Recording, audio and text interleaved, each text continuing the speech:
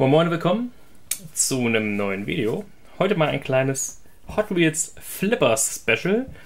Das ist, äh, ja, eine Art Flip-Auto, könnte man sagen. Also ein, darum Hot Wheels Flippers, äh, die man rumdrehen kann. Ich wollte die mal zeigen, es ist eine Kuriosität. Man findet ja eigentlich kaum Informationen zu diesen Modellen. Und deshalb werden wir uns die jetzt einfach mal im Einzelnen ansehen, weil ich die eigentlich ziemlich cool finde. Und äh, ja, soweit ich weiß, nach meinen spärlichen Informationen, kam 89 tatsächlich die erste Serie raus. Dazu müssten die beiden Modelle gehören. Wie gesagt, das eine habe ich sogar zweimal. Und die lassen sich dann in Rennwagen umflippen, sozusagen. Darum Flippers. Ich finde die eigentlich ziemlich cool. Das Problem ist halt, über die Jahre ist es halt so, dass äh, das Auto eine präferierte Seite hat, sozusagen. Ne? Das heißt, wenn man es immer auf derselben Seite hat, dann äh, flippt es irgendwann nicht mehr von alleine auf die andere Seite. Das heißt, wenn ich jetzt hier drücke, gut, der ist ein schlechtes Beispiel, denn der ist tatsächlich kaputt. Das Innenleben hier. Aber bei dem zum Beispiel geht es noch. Wenn ich ihn jetzt umflippe, seht ihr, dass die andere Seite auch mit oben bleibt. Das heißt, die Feder selber ist hier noch ganz. Ne? Hier ist nur das Innenleben ein bisschen verrutscht. Das muss man immer ein bisschen hinschieben. Also der Porsche ist quasi noch komplett intakt. Ja, da halten beide Seiten noch. Bei denen hier ist es so, da ich die meistens so rum betrieben habe, ist die Feder halt schon kaputt. Das heißt, in dem Modus bleibt er quasi nicht mehr geflippt. Ein bisschen schade, aber ist egal, das funktioniert trotzdem noch so zum Spielen. Ne? Bei dem hier dasselbe. Wie gesagt, weil da gefiel mir die, die Seite einfach immer besser.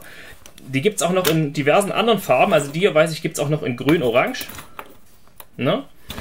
Und äh, oder was grün? Ne, in grün-lila gab es den, genau. Den gab es die Seite in grün und die Seite auch in lila, aber ein bisschen in einem anderen Design, in so einem weiß-lila Design mit so einem Formel 1 Schriftzug, habe ich schon gesehen.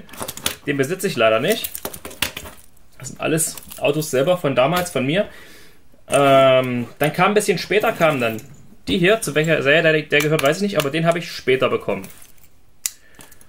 Den kann man tatsächlich von einer, von einer Art Panzerwagen in ein Cabrio umflippen. Bei dem funktionieren auch beide Versionen noch, weil ich halt auch beide Versionen ziemlich cool finde. Das heißt, der stand auch mal so rum und mal so rum. Auch ein sehr cooles Teil.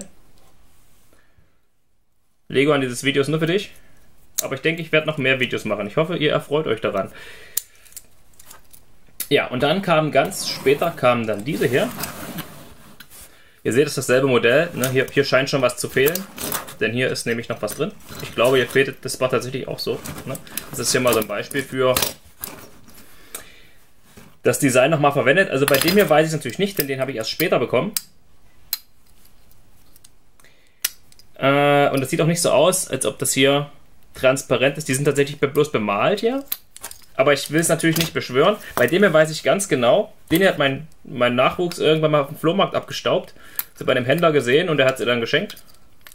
Das ist also das einzige wirklich neue Flipper, würde ich mal sagen, was ich jetzt so in meiner Sammlung dazu bekommen habe, sozusagen. Also ich finde die eigentlich ziemlich cool, die Teile. Und das Ding hier habe ich tatsächlich selber auch gehabt damals. Die müssen ein bisschen später gewesen sein. Und ich weiß, wenn man den umgeflippt hat, zum Taxi sozusagen, dann äh, ging hier oben im Wechsel das, äh, ja, das Signallicht an sozusagen und der hat auch, glaube ich, kurz Geräusche gemacht. Aber natürlich ist die Mikrozelle, die da drin ist, schon lange tot und äh, ohne das Auto kaputt zu machen. Oh, jetzt habe ich ihn runtergeschmissen. Und ohne das Auto kaputt zu machen, bekommt man die logischerweise auch nicht gewechselt. Aber ich finde die sehr cool, wie gesagt. Äh, gelegentlich sieht man mal einen bei eBay, meistens dann neu und original verpackt, so für 12, 13 Euro, manchmal aus Frankreich oder so. Aber wie gesagt, man findet da erstaunlich wenig drüber, als ob diese Dinger praktisch, als ob sie nie existiert hätten. Was sehr schade ist, weil ich denke, auch heute finden Kinder sowas noch affenstark und ja, ist halt eine, eine schöne Kuriosität. Die sind auch sehr äh, massiv gemacht. Das ist alles komplett Metall, ne? Die sind auch ziemlich schwer. Den hier finde ich, wie gesagt, besonders geil. Und äh, ja, ist ein bisschen schade, dass das so ein bisschen verloren gegangen ist, sage ich mal. Ne? Also bei diesen ersten hier sieht man auch, äh, das, die waren ganz einfach Und die haben auch ein bisschen gelitten, einfach weil die Achsen auch nicht die nötige Stabilität haben und so. Und die, die späteren, wie gesagt, die waren nachher besser. Das sieht man hier schon. Also, die konnten auch um einiges mehr ab. Aber nichtsdestotrotz, ich finde auch die alten mega cool. Also den Porsche fand ich schon immer mega cool. Bin eigentlich ziemlich traurig, dass das hier das Innenleben so ein bisschen kaputt gegangen ist, dass das so verrutscht. Ne? Aber es ist halt immer noch ein cooles, ein cooles Auto.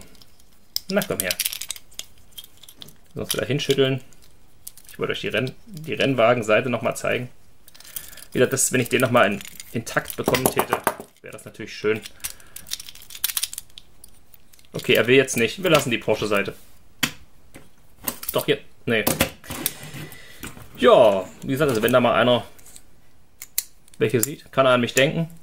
Ich finde die Dinger eigentlich ziemlich cool. Ich weiß gar nicht, wie viel es da gab. Vielleicht hat irgendjemand noch einen in Original verpackt und kann mir sagen, äh, wie, welche alle zu welcher Serie gehören, wie viele es da gab und so.